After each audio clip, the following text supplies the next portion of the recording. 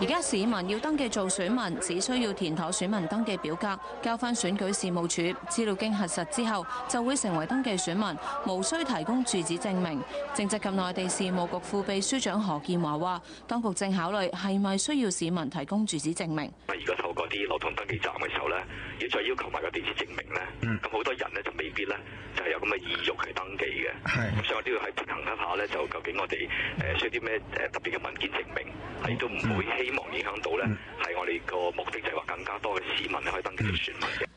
何建華又話：選舉事務處會就資料不全嘅個案向登記人查詢，可疑個案就會交俾執法部門跟進。